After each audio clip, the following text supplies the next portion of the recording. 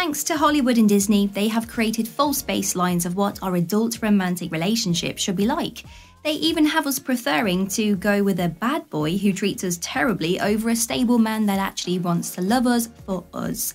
And the truth is, many of us didn't grow up in stable environments. We may have never experienced emotionally healthy men before, so that bar is set so incredibly low that we end up going through many relationships, wasting years of our lives before we sit down and think about the guys we should not be dating. Now, let me make this super easy for you with a collective list of all the men you need to avoid dating. Here we go, like and subscribe.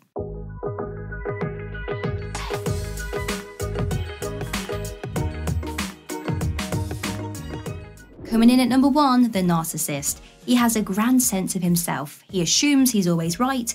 He doesn't believe he is ever in the wrong, and his ego drives him to overperform and charm the pants off everyone he comes into contact with. He's the guy that loves the sound of his own voice. He wants to have complete control over you, and he won't feel comfortable if you try to better yourself. This could be starting a side hustle, he won't like it. Going to therapy, mm-mm. Making new friends, going to the gym, anything that you do that is kind of showing him less of himself highlights his inner insecurities. The man child.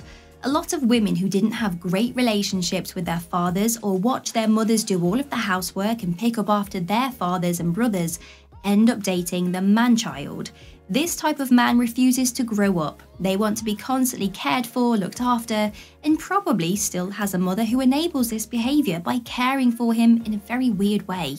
You can see them as men that have a teenage like mind. They struggle to maintain a career, they lack discipline, can't keep their homes or their cars tidy, and are absent minded.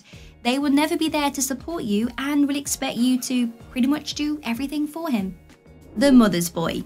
There is nothing bad about a man who has a healthy relationship with his mother. In fact, I encourage you to date someone like this. But a mother's boy is usually sweet and kind. He's considerate, but his mum will get in the way. She will want to look after him still and make you feel like you don't exist. He will struggle to see why it's inappropriate that she offers to wash his clothing still and buys him new pairs of boxer shorts and socks even when you guys live together. She plays a huge part in how he functions, and he will call her about new clothing choices, furniture that he should buy for your house, pretty much any big decision. The gold digger. Surprisingly, women are stunned to hear that there are men out there that like to leech off women. Society has made females out to be gold diggers, and there is a danger of this. If a woman can date a man and then lets him off for this gold digging behaviour because she doesn't believe it's a thing, then obviously she becomes used. Now, the man does not have his finances in order. He's happy to let you pay for everything.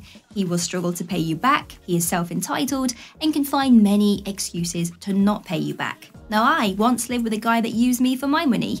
He just graduated, and I let him move in with me whilst he got back on his feet to find a job. A good year went by where he didn't actually help me with anything. And whenever I brought up the fact that he doesn't contribute, his excuse was, You never asked me for money, so I didn't think you needed it.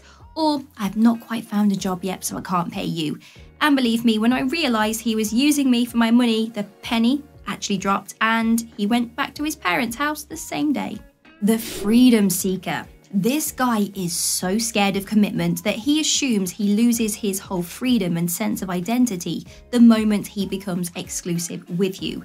This guy is against marriage and labels, but proceeds to expect wifey behaviour from you. He will be charming, he will be successful, and he looks on the exterior like great husband material, but he enjoys being single and your awesomeness cannot change a thing. The Controller. As the title reads, everything has to be his way. He wants control of everything your money, how you spend the day, pretty much all of you.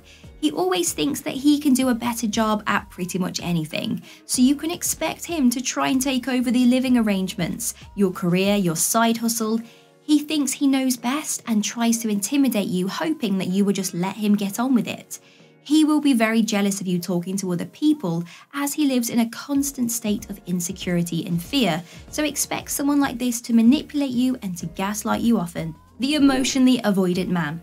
Now, this stems from an attachment trauma, most of the time created when his caregivers were either emotionally neglectful or too overbearing. He has learned that the emotions that he once felt caused pain and therefore chooses to shut them off. Now, of course, you cannot push down emotions, they won't stop, they will always come back for you to deal with. This man needs to be avoided as you will never feel comfortable or respected. He will always radiate push and pull behavior.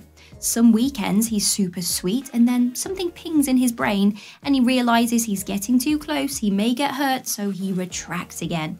And take my advice, you cannot change an emotionally avoidant man. Maybe through years of therapy and self awareness, possibly so, but it's not your job to wait for him to change or encourage him to change. The lazy guy. Someone that is so laid back he does nothing, doesn't care about commitments, birthday arrangements, he forgets everything and struggles to communicate with you. He enjoys his life this way and he will not see any reason to change anytime soon. Plus, people around him may enable his poor behaviour. They could laugh and joke and say, mm, James is so forgetful, he always arrives 20 minutes late to everything. This just enables his behaviour, rather than saying, Hey James, you're constantly late, which delays our plans for the rest of the day, and we're not going to wait for you any longer. So if you turn up late and we're not here, buddy, well, we've already set off without you. The liar. This man is a chronic liar. No lie is too big or too small. He can't help but lie about everything. This is a very deep manipulation tactic in order to control everyone. You will find that he's never consistent with anything he says and he doesn't want to open up to anyone because he might embellish stories, or if he talks, it's literally just a web of lies. The baller. This man loves to show off his riches, and of course, there's nothing wrong with someone expressing good taste. Maybe this guy really does have a lot of disposable income, and that's how he likes to keep himself happy. However, if he is a baller that likes to brag about his finances, mm, he has a lot of insecurities deep down and he likes to use his money as a way of gaining social control. And if they feel that they are a big man at all times, it will be easy for him to replace you with someone else because, well, he will have access to lots of attractive people. Someone that is constantly used to getting their own way with money struggles to respect others around them because they enjoy the immediate gratification that money gives them, and they are just a very unhealthy person for you to date. The cheater. I'm sure you've heard this saying that once a cheat, always a cheat. And personally, I like to give people three strikes. People can only learn through their mistakes, right? However, if a certain guy continuously cheats on his partner, it's a sign you shouldn't date. Because history could repeat itself. If he struggles with being honest, if he struggles with relationship compatibility, there is a lot more going on on an emotional level that he needs to work through you will find that this type of guy is amazing at charming women. He knows what women like to hear and he will hmm, always get his way with women unless he tries it on with you and your independence will say, mm no thank you. The married guy. If a guy is already taken, you should never consider it. It should be an immediate no. It doesn't matter if he says that he's waiting for the divorce to finalise.